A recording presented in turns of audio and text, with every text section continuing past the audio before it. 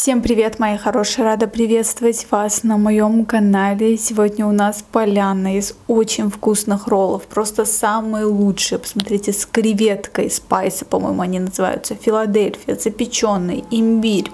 В общем, все самое лучшее собрано в этот сет. И вы очень часто задаете мне вопросы, какие же суши я предпочитаю, у кого я беру.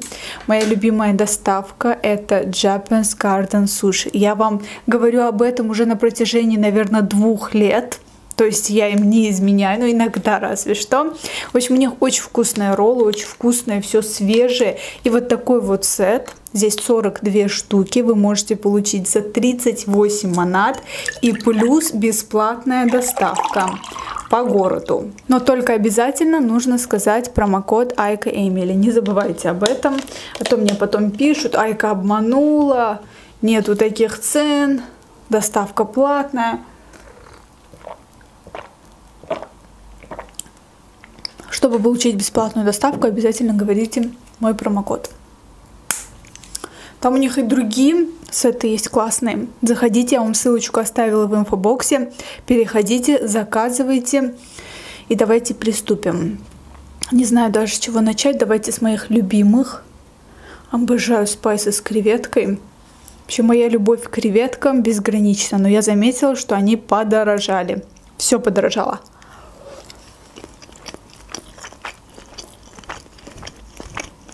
М -м. Я почему-то думала, что в России все так дешево. Вчера болтали с папой по видеосвязи. Он говорит, купил рыбу за 700 рублей. Я такая, что так дорого? Сколько у вас мясо стоит? А, а сколько это то? Третье, десятое. Я смотрю цены, как у нас. Я всегда думала, что в России мясо стоит 250 рублей.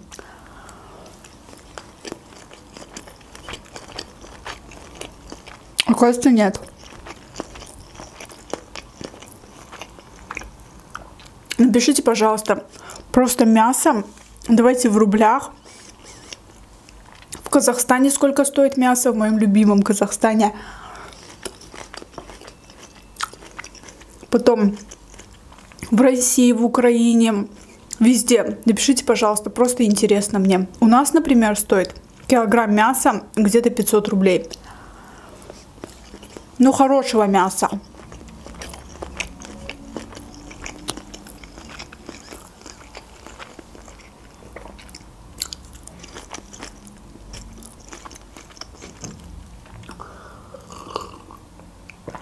Общем, я наконец-то создала второй канал.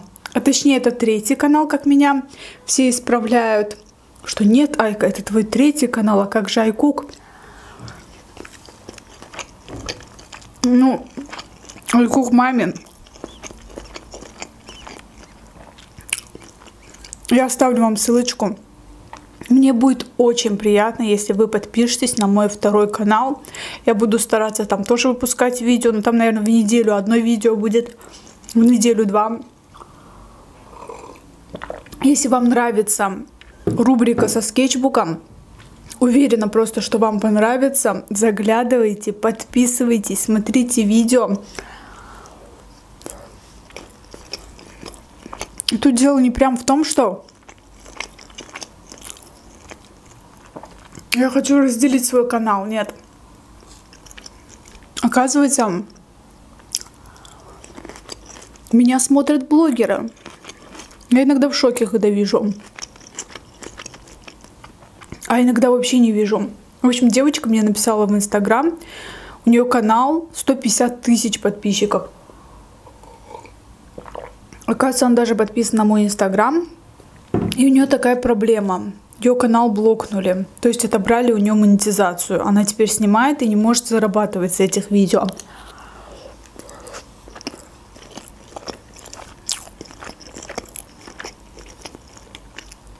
Почему это произошло? Она не знает.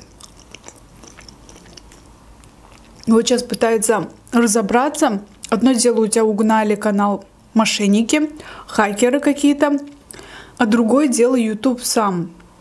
отобрал у тебя монетизацию. Вот в таких случаях хорошо иметь запасной канал.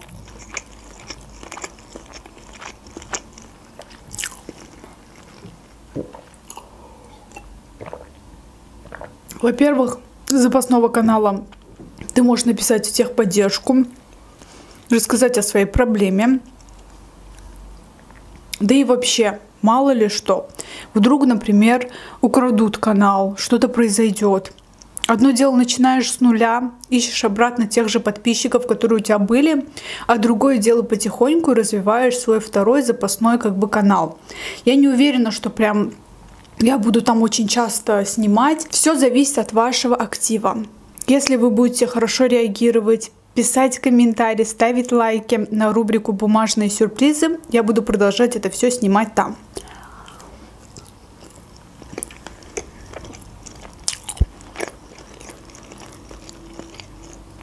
Там чисто про констовары будет.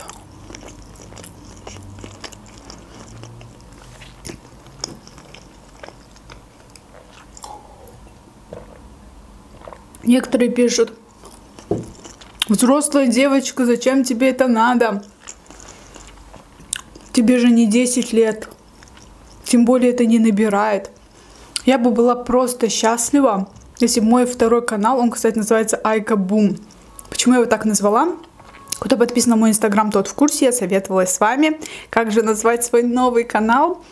Я просто подумала, Айка это мое имя, и Бум от слова бумага.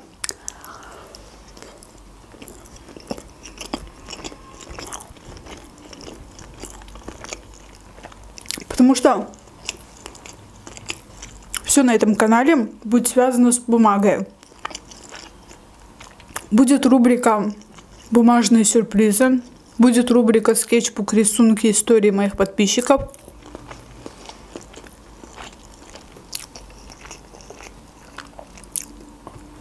Покупки канцелярии. Очень много чего именно связанных с бумагой. Сначала думал назвать Айка Арт.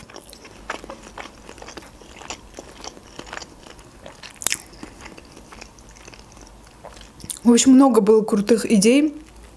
Спасибо вам огромное за то, что помогали мне. Мне безумно приятно.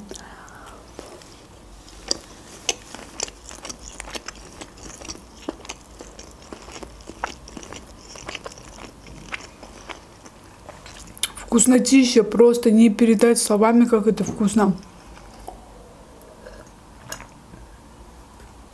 Когда заказываешь роллы, приходит какая-то фигня. Вот реально. Особенно в Инстаграме выплывает реклама. Например, 100 штук за 30 монат. Ты думаешь, блин, какая хорошая цена.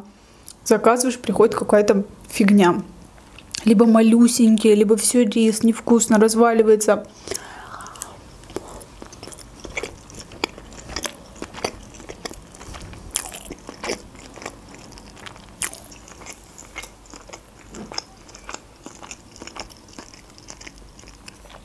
Вчера я встретила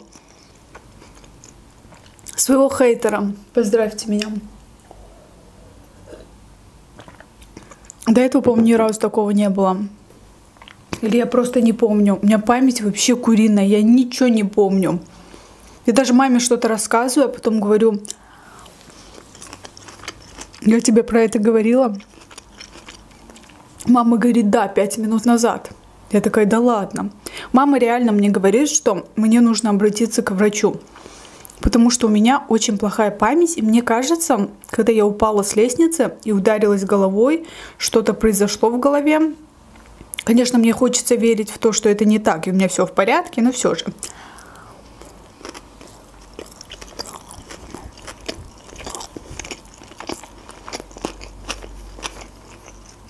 В общем, я встретила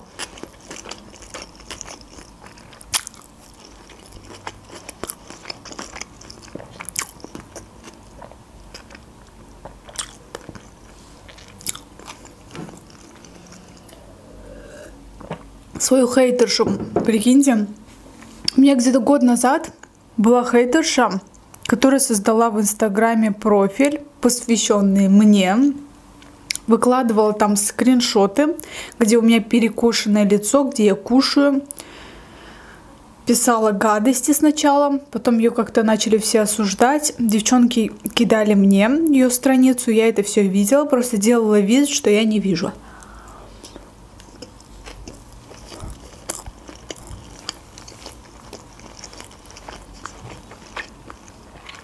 Потом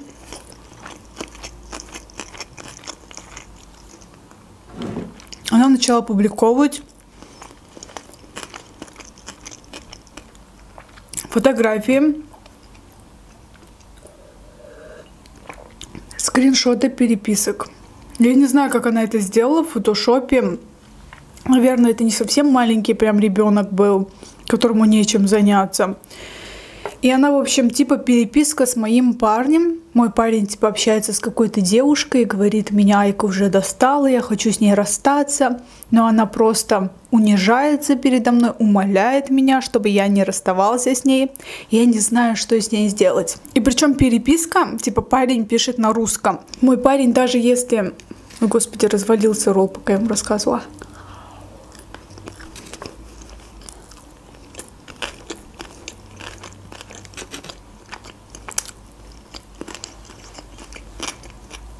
Мой парень, даже когда говорит по-русски, то есть печатает, он всегда пишет английской клавиатурой. Всегда. Это его отличительная особенность, так скажем. Мне сначала так неудобно было. Он, прикиньте, все пишет английскими буквами. Было очень неудобно. Ну, в общем, там в переписке, типа русскими буквами он пишет, вот извини, я скоро с ней расстанусь, мне просто ее жалко. Вот я просто читаю и угораю, как это сделано просто ювелирно. Вот реально ювелирно.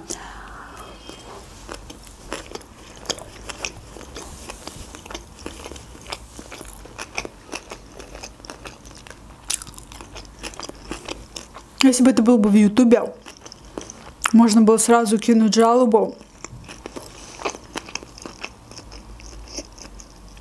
И все. В Ютубе все проще делается. Элементарно есть каналы, где издеваются над мукбанкерами. Я видела там и меня. Вот, но мне как-то не хочется блокировать эти каналы или на что-то претендовать, что вы использовали мои материалы. Но, блин, угорают надо мной. Я рада. Если вы можете заработать на этом, пожалуйста, я только рада. Ну, в общем, здесь я понимала, что человек просто всем сердцем меня ненавидит. И у человека куча свободного времени. Когда экс-участницы Дома-2 говорили о том, что про них создают паблики, антифанаты создают паблики, я просто думала, что эти люди придумывают себе это. Но оказалось нет. И плюс она всем моим подписчикам кидала запрос на подписку. И людям интересно было, что Зайка Эмили. Заходили, смотрели. Видели там переписки моего парня, типа он хочет со мной расстаться, не получается, я умоляю его. Там целую его пятки, что, пожалуйста, не бросай меня. Сначала мне было смешно, но потом это начало выходить за рамки просто. Я не знала, что делать. Как вы думаете, что я сделала? Я просто игнорировала. Блокнула ее. Чтобы хотя бы моим подписчикам не могла кидать запрос на, на запрос. Это реально людям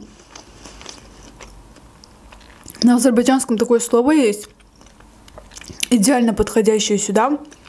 Люди бекяр, вот заняться нечем людям. Если бы у меня было бы столько свободного времени, я бы сидела и рисовала. Если бы у меня было бы свободное время, много, я бы зависала на ютубе. Я бы начала играть в Sims. Не знаю, что бы я делала, но куча всего. Но точно не кого-то там хейтить. Потом начала там писать какие-то вещи, факты типа из нашей жизни, про моего отца, про моего брата и так далее. Это было, конечно, нечто. Но я делала вид, что я это не вижу. И вчера тоже я встретила свою хейтершу. Она подошла ко мне и говорит, я вас знаю и так далее, Вайка Эмили. И говорит мне, я вас не смотрю из того, что вы не носите хиджаб и не религиозная ты все-таки выросла в семье мусульманской и так далее, как тебе не стыдно? Вы знаете, я переписываюсь с девушкой, ее зовут Зуля. Зуля, если ты смотришь, тебе огромный привет. И эта девушка, она в хиджабе, у нее есть дети, она сама религиозная, но с ней настолько интересно. То есть, хоть мы разные, все равно с ней интересно общаться, она крутая. Я считаю, даже если мы с вами разные, возможно, вы меня смотрите сейчас, вы в хиджабе, а я нет, но возможно, мы бы с вами так подружились, как даже не та девушка, которая похожа на вас. Я считаю, нельзя ненавидеть людей за то, что они просто не думают, как вы. Ну, в общем, высказала мне пару сладких, я ничего не ответила. Я считаю, что это делает меня выше этой ситуации. Ничего не отвечать.